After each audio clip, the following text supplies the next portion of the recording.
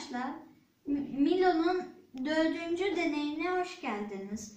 Şimdi Milo'nun eee, yeni bir şey taktık böyle.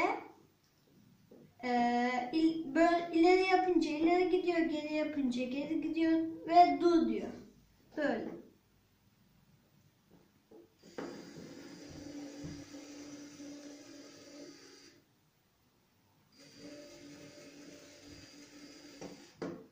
Gördüğünüz gibi arkadaşlar. Yine bu deneyimizde de başarı oldu. Görüşürüz.